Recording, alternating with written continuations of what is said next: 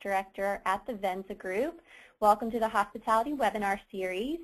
Today we have attorney Montserrat Miller. She is an attorney with uh, the law firm of Arnall Golden Gregory, who's a partner of the Venza Group. Um, and she will be speaking today on Form I-9 compliance. So Montserrat, if you'd like to get started. Okay, thank you, and uh, welcome everyone to today's presentation. I am going to um, go through these slides uh, somewhat quickly just because of timing and then open it up at the end to questions if you have those. So please make sure to save any questions for the presentation as it goes on. But today we're going to look at best practices, tips for uh, completion of the Form I-9, talk a little bit about anti-discrimination issues that arise with respect to the Form I-9, and what to expect if you are the subject of an I-9 audit by Immigration and Customs Enforcement, as well as just briefly talk about immigration reform here in Washington, D.C., which is where I am based, and what's happening up on Capitol Hill and what it could mean for the hospitality industry. And I understand that this presentation is uh, tape recorded and will be provided later, so if I go through a slide quickly, don't worry, you will have access to the presentation later. I give these acronyms in this section just because there's so much, uh, so many acronyms are used when it comes to immigration compliance with all the different agencies that are involved and the different programs involved. So I always find it helpful to have a handy list of acronym busters so that we're all on the same page. Let's start with the Form I-9. As you probably already know, and if you don't, you should check it out. There is a new Form I-9, which is available on U.S. Citizenship and Immigration Services website. You will note that it has a uh, date of 3-8-13 and a little N after the date, which means that prior versions are not acceptable. So for all new hires effective May of this year, you should be using the new Form I-9. As I know the Form I-9 is used to verify an individual's identity and employment eligibility in the United States. And it is important, and I do see that this happens, that you have I-9s, a Form I-9 for all current employees. And where I see sometimes that employers do not have that is sometimes they think that owner employers don't need a Form I-9 or maybe some of the higher level individuals don't need a Form I-9, and the reality is that if a company has an employee, you need a Form I-9 for all current employees hired after uh, November 6th of 1986. Another thing that I see with the Form I-9 that uh, goes back to my point about having one for current employees, there is what is called, there are retention requirements for the Form I-9, and you are able, as an employer, to dispose of Forms I-9 given uh, use of a certain uh, schedule that they have, which is three years after date of hire or one year after termination. Where I see some employers make a mistake is they think that that kicks in immediately upon hire, and it's important to know that the retention requirements maintain are, are to be maintained throughout the life of an employee at the company, and the disposal rule, if you will, only kicks in once the employee has been terminated.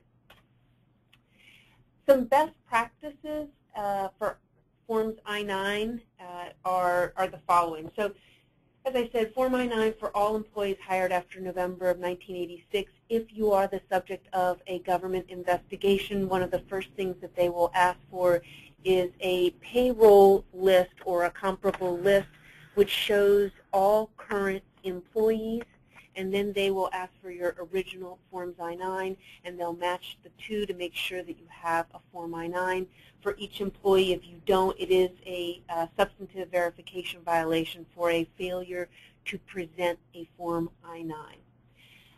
Some, some view E-Verify as a best practice uh, because it sometimes can take the guesswork out of whether the documents are valid or not, barring some really good identity theft. there is a basis to consider E-Verify as a best practice, but you have to be realistic to the industry in which you are in and um, the fact that E-Verify, despite the uh, news sometimes in the media that it doesn't work, it really does work. And so in certain industries, it will uh, certainly have an effect when you create a Form I-9 and then create a E-Verify case. For any federal, just quickly going through some of these E-Verify federal contractor, for any uh, federal contracts issued on or after September of 2009, as well as older contracts that have been modified, be aware that if in fact you have one in the industry, uh, which some of you may, there could be a FAR, Federal Acquisition Regulations, E-Verify clause, which mandates E-Verify for new hires and those employees assigned to the contract. Um, so for instance, if you were to provide services um, at government facilities, military bases, you might you should check those contracts to see if they have that E-Verify, uh, the FAR E-Verify clause. There are state mandates around E-Verify. Arizona was the first for private employers, and that has since expanded to include other states like Alabama, Georgia, Louisiana, Mississippi, the Carolinas, Tennessee, Utah. Some of those states have small business exemptions if you are less than 25 employees or less than uh, 10, like Georgia. Some have variances on whether they mandate E-Verify or an equivalent procedure, and so I would look to Louisiana, Tennessee, and Utah for those different requirements, and this is particularly important if you are a large employer that touches several states. You need to be aware of the state mandates in each of the states. Um, and so do, do, be aware, like I said, Georgia, the Carolinas have a small business exemption uh, where you are not subject to E-Verify, but you have to go through the states individually depending upon your location. Also, Colorado has an interesting affirmation of work status form that needs to be completed for all new hires, and so just be aware of that form in Colorado as well. There are subcontractor rules uh, which would apply if a company is working with a public employer and the subcontractor would be subject to the E-Verify requirement. And sometimes there are reporting requirements as well that have to flow up to the general contractor who then passes those forward to the um, the public employer such as and actually there are quite there are more mandates on public employers at the state level to use E-Verify than there are on private uh, employers, but the list is still somewhat lengthy for private employers. And then the final thing is E-Verify as a private contractual matter between an employer and uh, between two entities can require that uh, E-Verify be used as a condition of the contract. With respect to internal training and compliance program, it is always a best practice to have a written hiring and I-9 policy. I believe it's a best practice to photocopy the documents presented to when completing Section 2 of the Form I-9. I've seen them save employers more than they hurt employers when it comes to an ICE audit because you actually have a document that can prove whether the document looked uh, reasonably to a reasonable person would be a valid document. So I believe photocopying of the documents presented for the I-9 Section 2 is a best practice and recognize that if you use E-Verify, there is a requirement to photocopy certain List B documents.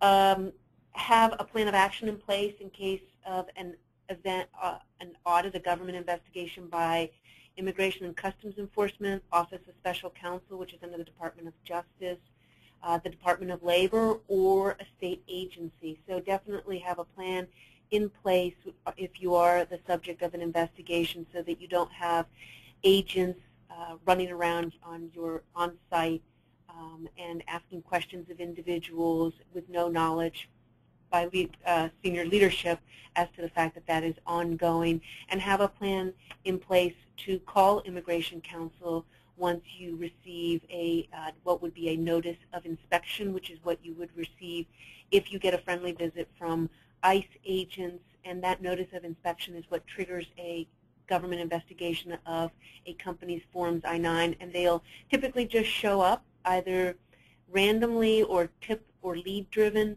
and present the, the uh, notice of inspection. So you need to have a plan in place, as with any other government investigation, as to how that's going to go up the chain, who's going to be calling who, and how you're going to involve your um, either in-house immigration counsel or outside. I would also recommend that you, depending on the type of um, facility and especially in hospitality, you don't want agents running around your facility. That's not saying that you're doing anything wrong. It's just a reality that you don't want state or federal agents running around. So I recommend putting up uh, restricted area signs or signs that say personnel or employees only. Staying on um, best practices for I-9s, and again, I apologize that I'm talking quickly, but we don't have a lot of time together. Uh, completion, storage, and retention of the Form I-9. I am always surprised when I go on site with a client and see that they have um, the office manager or the head of HR, whoever may be uh, the responsible person, and you should always have a responsible person uh, with a backup who dedicates some of their time to the Forms I-9 and E-Verify and other issues around that, that they have the Forms I-9 uh, out in the open and not behind lock and key. And you really, given the significant amount of personal information on those forms, name, date of birth, documents, those need to be in a secure location uh, with restricted access. The same for other personnel records because of the personal information contained therein. There are state laws, separate and apart from the immigration laws, regarding uh, data breaches and the loss by a company of personally identifiable information.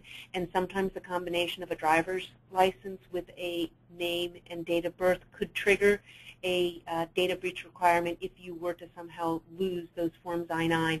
So definitely have them behind lock and key, and it's just it's a best practice because you don't want just anyone looking at those forms. Um, it is okay to store Forms I-9 electronically, so you can store the forms either in the original paper version with the supporting documents. You can use a vendor and um, have electronic storage of I-9s with e-signature. They, USCIS has gone so far as to say, and the, and the regs actually, the regulation also say this at 8 CFR 274A, that you can scan them in electronic format and save them presumably in a PDF. I'm not 100% convinced on that, um, that they wouldn't say, well, where are the, that you wouldn't get an ICE auditor saying, well, where are your originals? These are just photocopies. Where are your originals? So I think if, unless you're going to use a vendor um, who has followed the 274A requirements of 8 CFR with respect to electronic signature, audit trails, et cetera, I would say as a best practice either have them in the original or use a vendor.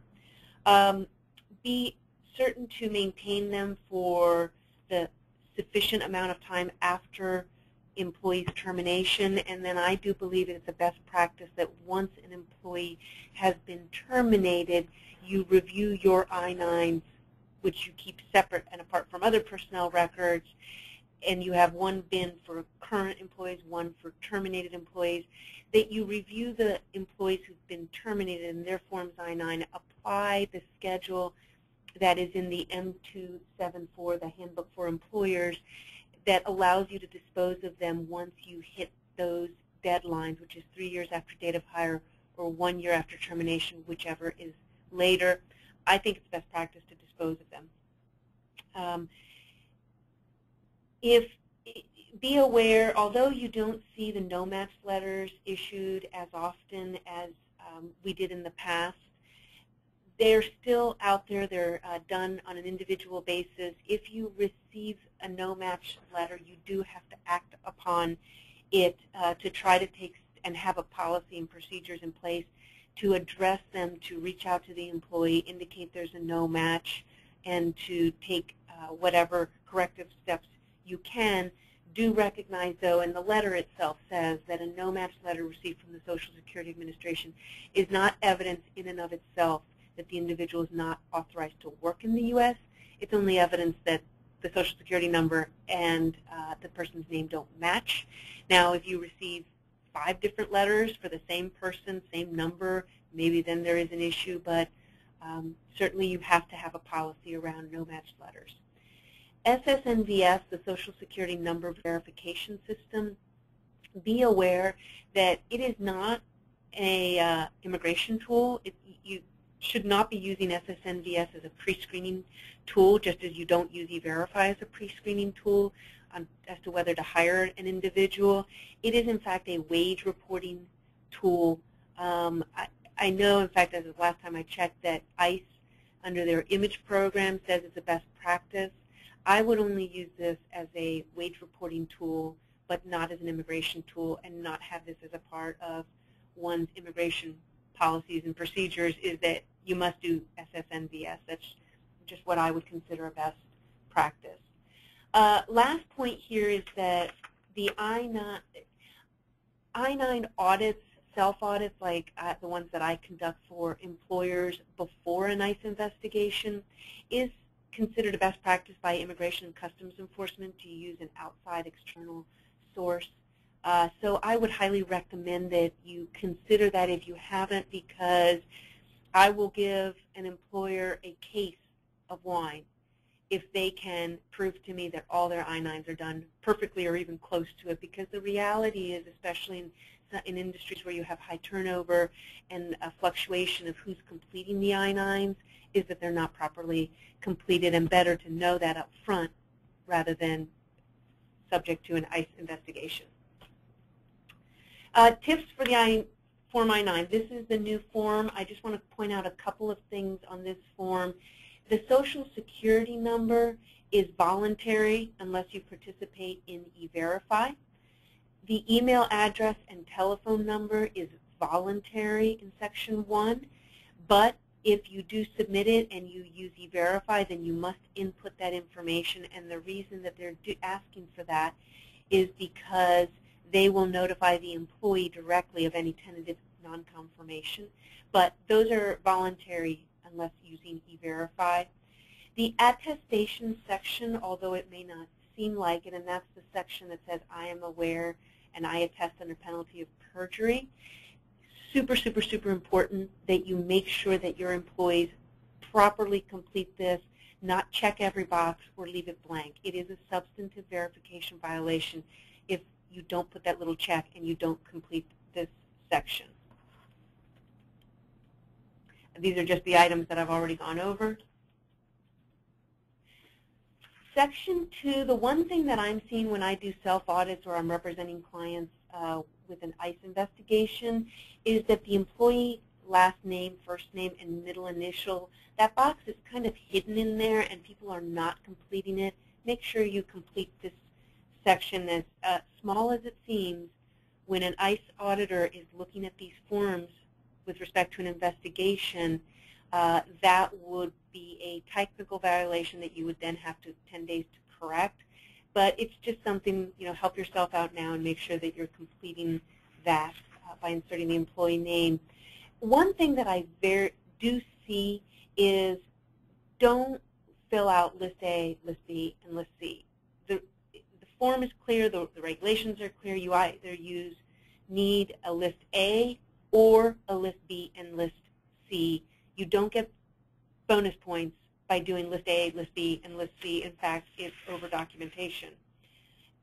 When one thing that you cannot do is review, have the employee complete section one, and then instead of doing section two, you just simply photocopy documents. I do see this, um, particularly with industries with high turnover, um, like fast food and some others, that they'll just photocopy the documents presented by the employee but not fill out section two.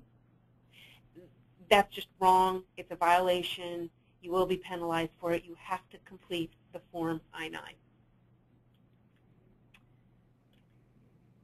All right, just some totally random thoughts Um, be aware that the I-94 card, which is there is a picture here, is being phased out by Customs and Border Protection so that when people enter at a port of entry, they are being told they have to go and to an online portal and print out the I-94.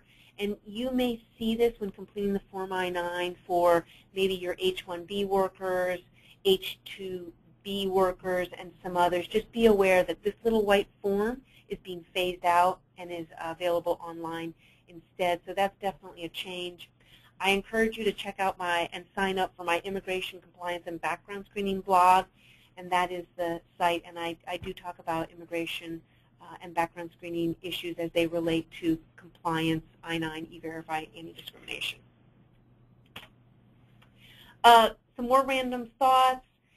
Realize that for the Form I-9, the standard is reasonableness. What would a reasonable person believe with respect to that document presented for the Form I-9 and whether it matches the person who's given it to you and appears to be valid. So that's the test. Does it relate to the person and is it one of the documents that authorizes work in the U.S.? Anytime, especially in, in your industry where there are mergers and acquisitions, you do need to think about the Form I-9, due diligence, whether you're going to assume the liability by accepting the Forms I-9 for the company that you're merging with or acquiring, or you're going to treat everyone as a new hire. All right, I am going to keep talking now for, uh, I'm going to do a hard stop in about three minutes for questions, but just want to cover anti-discrimination issues. Uh, there is the Office of Special Counsel. They are part of the Department of Justice. They do consider um, citizenship status discrimination, national origin, document abuse, and retaliation or intimidation. There were, in fact, a couple of recent cases in the hospitality industry, uh, Tuscany Hotel and Casino in Las Vegas, and Centerplate, which uh, was a company that uh, provides um, hospitality services to sports convention centers and entertainment venues in the U.S. They, Tuscany Hotel and Casino received a $49,000 civil penalty for um, allegedly requesting uh, different or more documents for the Form I-9 than were required by the Form I-9, and also um, demanding specific documents be presented, like maybe the employee says that they're a lawful permanent resident, shows you a green, um, shows you a driver's license and a social security card, but you turn around and say, you know, you indicated you're a lawful permanent resident. I'd really like to see your green card. That's a big no-no. Um, Centerplate actually received a significant fine to the tune of $250,000 plus back pay plus ongoing monitoring by Office of Special Counsel, and it was for unfair documentary practices. They don't list what those practices were, but that for OSC is a significant penalty. There are some examples of when one would be subject to um, either citizenship or immigration status discrimination or national origin. Those will be here, but essentially you cannot treat people differently because they're a lawful permanent resident, a refugee, or than you would a U.S. citizen. You can't ask for different documents as long as they give you something from the list of acceptable documents. Uh, and you can't ask for additional documents. So again, you do not get bonus points for photocopying both their green card, their driver's license, and the Social Security that card. That's considered over documentation. So, and that's an example here. And I'm going to open it up to questions. Tracy, do we have any questions?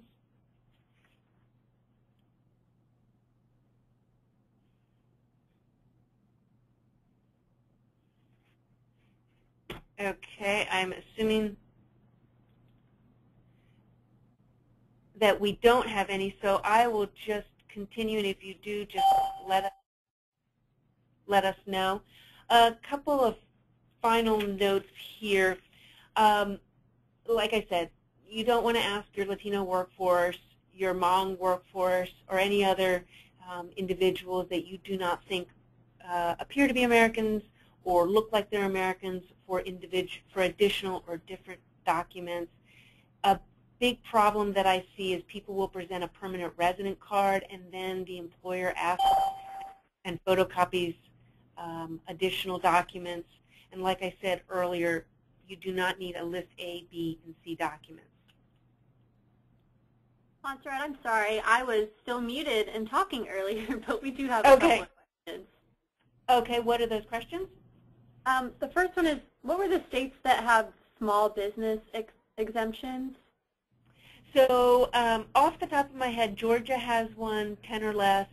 Um, the Carolinas do 25 or less, and the others I'd have to go state by state, but those are the three that jump to mind. Okay, and should you file the photocopies of the identification with the I-9 or in the personal file?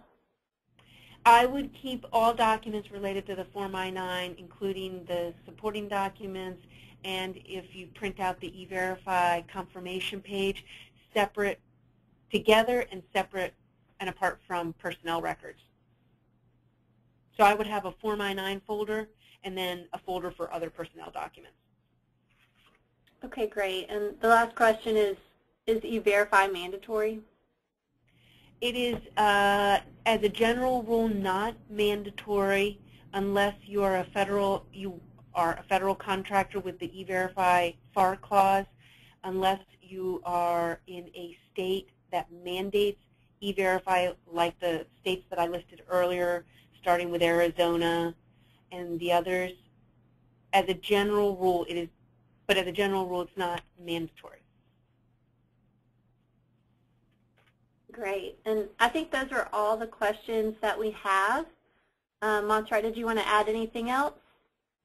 Well, just really quickly, since I see we have four minutes, um, and for some reason my slides are not progressing now, uh, just wanted to, okay, so know when you go back to it that um, there, the ICE audit and what to expect, talked a little bit about it. Uh, just understand that ICE, Immigration and Customs Enforcement, does have the authority uh, to issue a notice of inspection and in some instances a, a subpoena to review your forms I-9 and um, that if you are the subject of an investigation, I would not recommend you go at it alone that you hire an immigration lawyer for a number of reasons. There are certain documents that could be issued as a result of an audit, uh, and there are civil penalties that start from 110 per violation for paperwork violations and then can go as and then for substantive violations start at 375 and that would be if ICE believes that you knowingly hired an undocumented worker or continue to employ someone knowing that they were undocumented, and they actually apply a complicated fee matrix uh, depending on uh, which will determine at what level you're fined depending on whether you're a first time, second time, or third time, or repeat violator. And I think with that, I, uh, Tracy, I, there's also e-verify and immigration reform, and the last point that I would mention on that is that uh, keep an eye on what's happening here in Washington, D.C., especially in the House of Representatives, because with respect to the hospitality industry, the biggest issue is mandatory use of E-Verify for all employers over a period of time, depending on which version of the legislation ultimately passes. Uh, there is a move to go paperless on the form I-9 and to have greater use of identity authentication features beyond photo tool if you use eVerify now. Um, and then greater use of technology, which would help in situations where you have remote hires, and that E-Verify, if it becomes mandatory, unlike some states where there are small business exemptions, with the federal legislation, it would preempt those laws and require E-Verify over a period of time for all workers and those with expiring work authorization documents, which is not currently the case. So that was it. Um, I came in right at 1229. I know we're leaving our company at 1230, so if there are any last questions.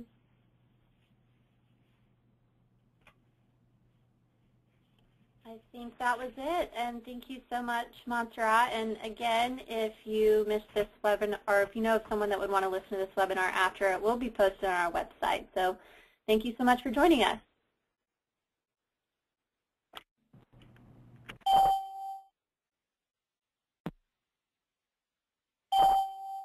Did you know the term is synonymous with crossover? It's a